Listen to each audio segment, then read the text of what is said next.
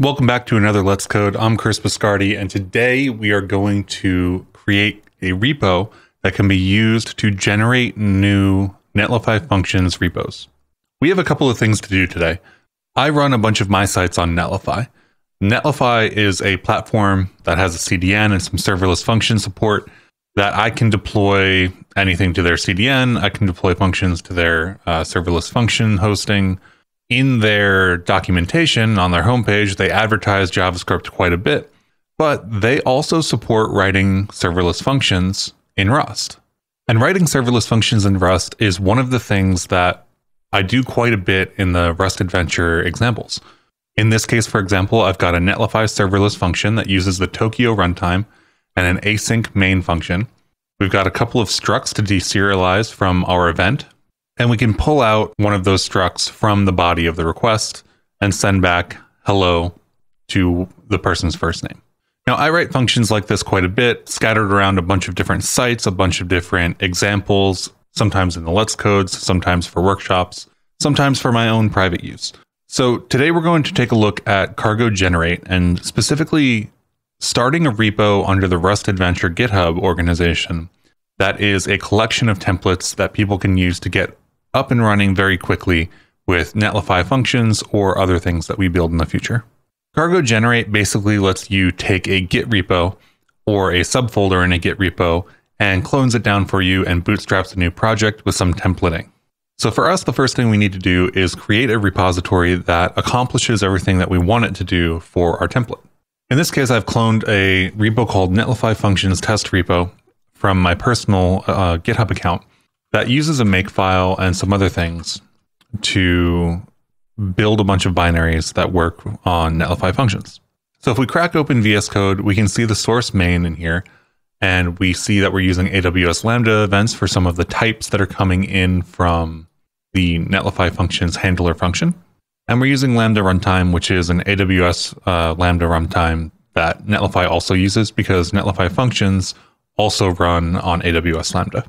So I think this is pretty good. I think that um, one of the things or one of the changes that I want to make here is actually not using this makefile because I think there is a simpler way these days to do Netlify functions. So the first thing we're going to do is basically clone this repo and just set it up a bit differently. So I'm going to accomplish this by copying the entire Netlify test repo uh, repo into a new folder called cargo generate netlify function test.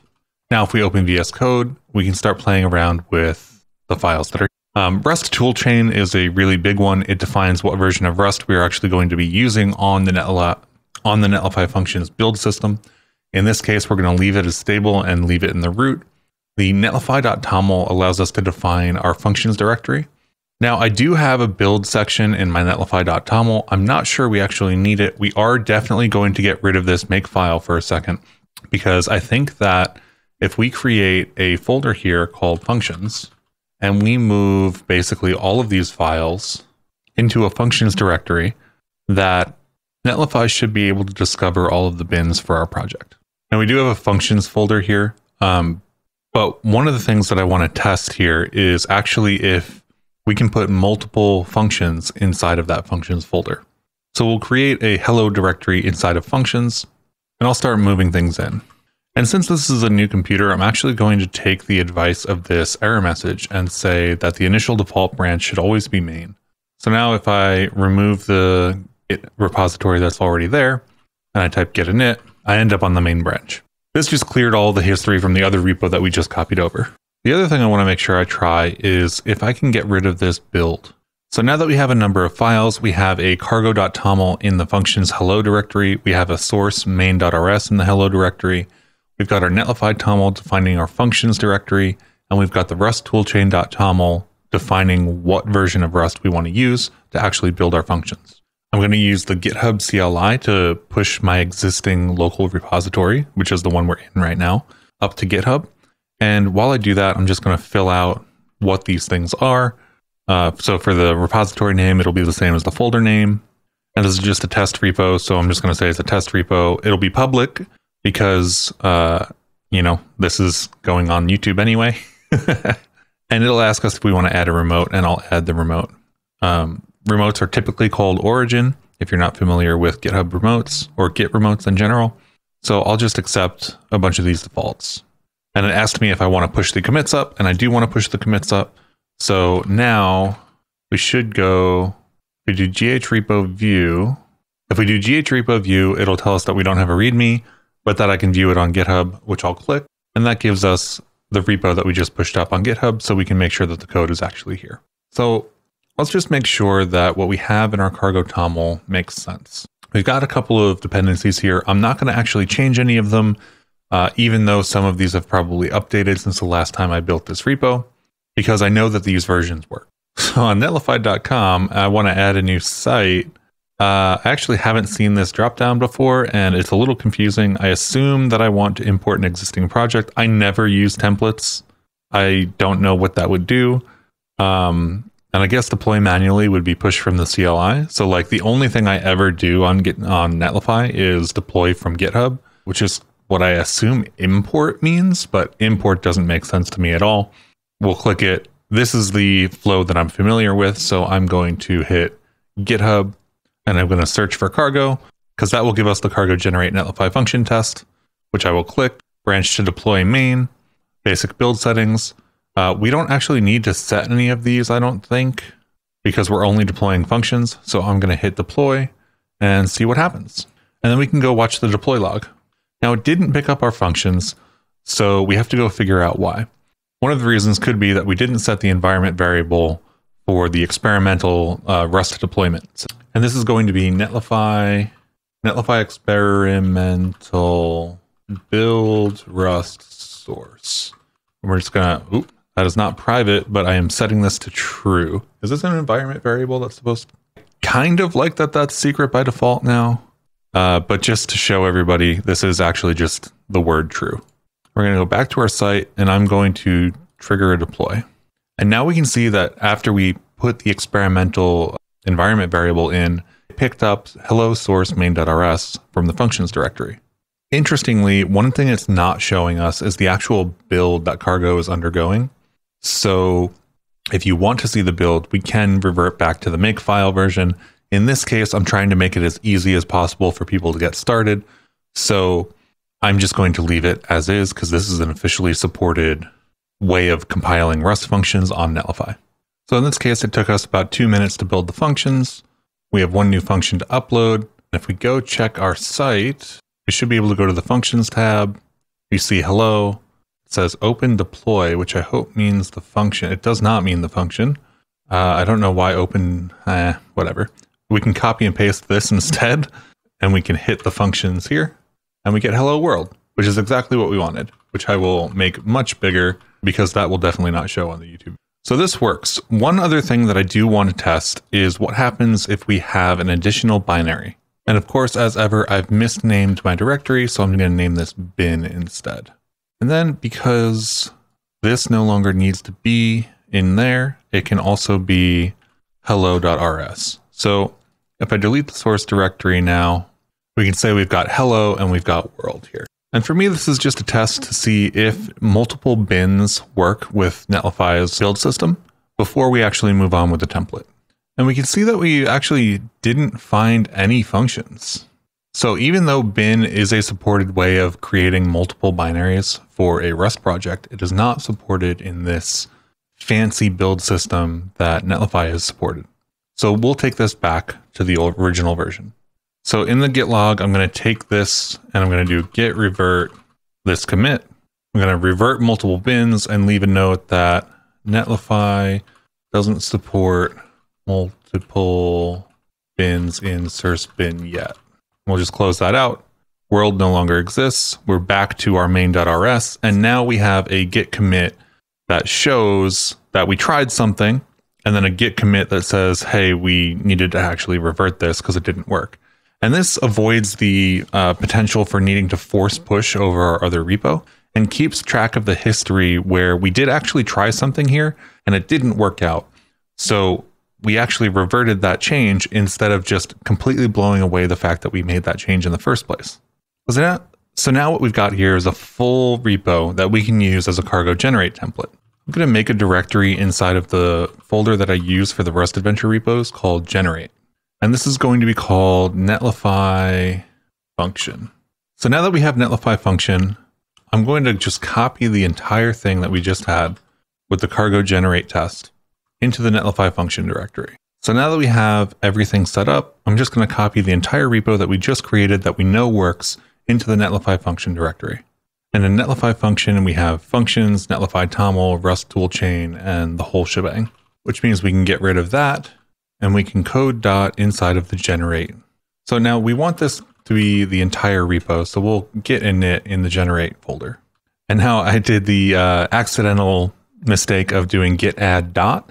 And that's not actually what I wanted to do because the netlify functions repo that we just copied in already has a git repo in it. So if we git rm cached, it still didn't quite work. We can see that netlify function is still in that the git repo is still around. So let me rmrf netlify function.git and I'll commit this as first function template. I'm going to create a README file, even though I'm not going to create it right now. And the only thing that's going to go in here is cargo generate templates. Getting started quickly with new cargo rust objects. So now gh repo create. I want to push an existing local repo. It's the one that we're currently in. It's going to be the repository name of generate. Uh, I'm going to say that the description that we just wrote is the one we're going to use. It's going to be a public repo. And it added it to the wrong user. Oh no. So we'll just keep going with this. The remote, etc., etc. Push everything up, deal with everything, uh, accept all the defaults, and clear. And we'll do gh repo view, and we see that we have Christopher Biscardi slash generate. Christopher Biscardi slash generate is not what we want. So I'm going to go into the settings. I'm going to scroll all the way down. I am going to not delete the repository, but I'm going to transfer ownership to Rust Adventure because that's where I want this to live. Uh, I know that this is what I want to do and this name is correct. So I'm going to type in or paste in Christopher Biscardi slash generate. I understand transfer. After we submit, we say moving repository to Rust Adventure slash generate. This may take a few minutes if we do Rust Adventure in our GitHub bar and we go to the repositories, which, wow, I have 24 repositories in this organization these days. It's a lot. I have a lot of, uh, a lot of Rust code for these workshops. And then we have the generate repo right here. And we notice that we have a little bit of a problem. There's a little bit of a little right angle arrow here. And that means that we didn't actually delete the Git repo when we thought we did earlier. Let's pull all of this back open. And the suggestion that uh, the suggestion that we got from the original git commit operation is this git rm cached netlify function, which we'll run right now. Remove old git repo. Then I'll add everything that we have here. Netlify function init, and I will push this up if I can type correctly. And now when we refresh this page, when we view the code, we actually have a regular folder here, the regular folder icon, not a sub git repo. And we click in here and we'll see all of our files, which we couldn't do before. So now we need to see if this works with, I forgot that GitHub totally destroys the usability of their site if you are on a zoomed in screen. So let me zoom out here because the thing that we need to do is get to this button, which disappears. We'll go to HTTPS, we'll copy this URL, and then let's go take a look at Cargo Generate. So installation of Cargo Generate is cargo install cargo generate, which we will which we'll do.